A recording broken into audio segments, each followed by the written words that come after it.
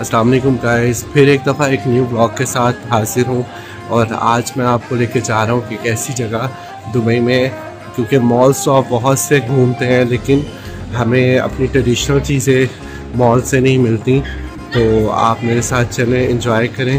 वहाँ आपको पाकिस्तानी इंडियन सब कुछ मिलेगा। और देखें।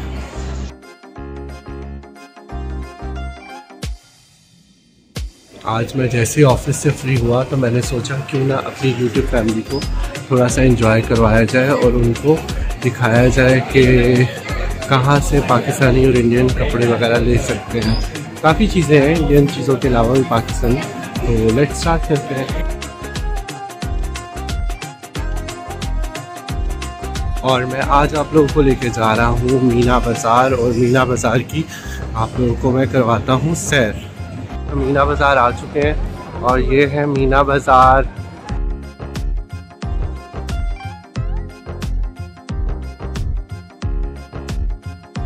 इधर आपको सारे ब्रांड मिलेंगे, पाकिस्तानी भी और इंडियन भी। और मैं आपको दिखाता हूँ अभी पाकिस्तानी ब्रांड्स भी। और यहाँ से आके आप सारी शॉपिंग वगैरह कर सकते हैं।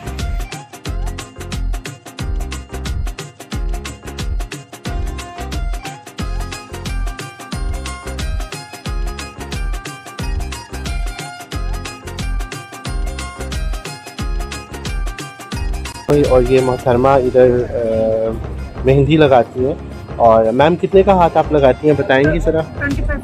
ट्वेंटी फाइव का हाथ लगाती हैं। सिर्फ़ एक हाथ या दोनों हाथ? अच्छा एक हाथ लगाती हैं। पीछे देख सकते हैं यहाँ से आप लोग थोक में चॉकलेट्स वगैरह ले सकते हैं। चॉकलेट्स हैं इनके पास और जितने भी मेवा वगैरह सब कुछ यहाँ मिलते हैं। आप देख सकते हैं यहाँ से। यहाँ आए, बल्कि यहाँ आपको बहुत सस्ता ये चीज़ें मिलेंगी।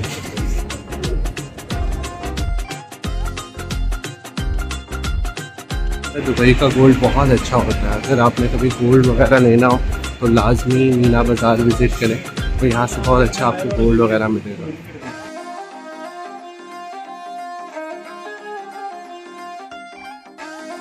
मैं आप लोगों को लेके आया हूँ अभी ग्रैंड सूट भर दुबई। आपको ये भी बाज़ार दिखाता हूँ ये बहुत प्यारा और बहुत ही अंदर से जो है अमेजिंग बाज़ार है। चले।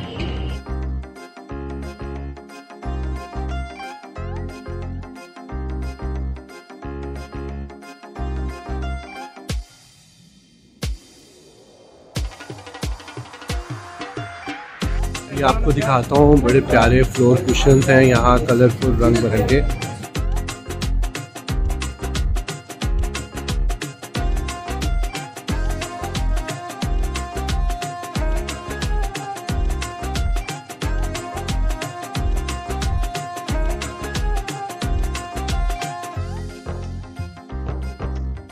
मुझे ये भाई मिले हैं मैं इनसे पूछता हूँ ब्रदर ये क्या चीज़ है?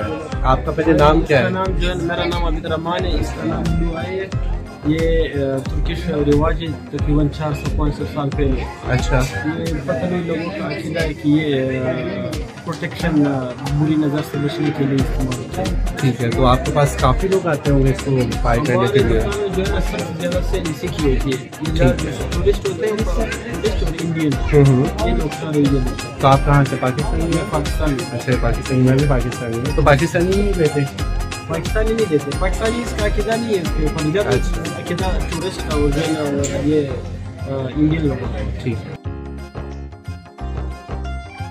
ये मेरे पीछे ईरानी कारपेट है, आप देख सकते हैं। ये मेरे पीछे आप देख सकते हैं, ये टर्किश लैम्प है और बहुत ही खूबसूरत लैम्प है, मैं आपको दिखाता हूँ ये लैंप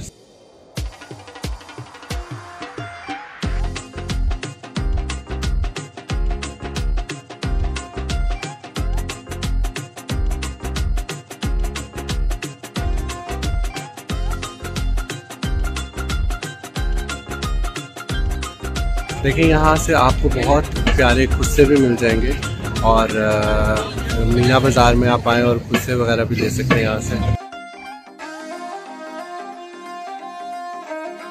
अगर आपको दूसरी तरफ़ जाना हो दूसरी तरफ़ डेरा है तो सिर्फ़ आप यहाँ से वन दिरम में आप क्रॉस कर सकते हैं और बहुत मज़े का जो है सफ़र है यहाँ से वहाँ तक का। चले मैं लेके चलता हूँ आप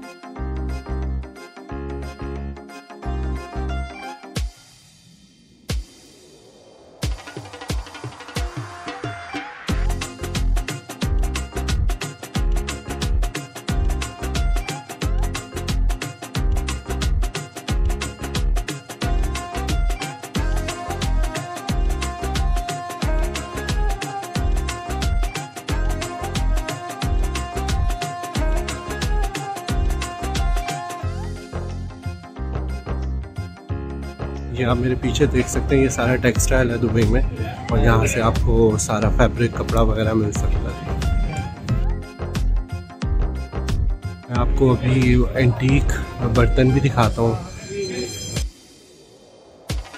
मैं घूम रहे हो तो आपका दिल तो करेगा कि कुछ खाया जाए, और कुछ पिया जाए तो मैं आपको लेके चल रहा हूँ। इधर बहुत मज़े की जलेबी मिलती है।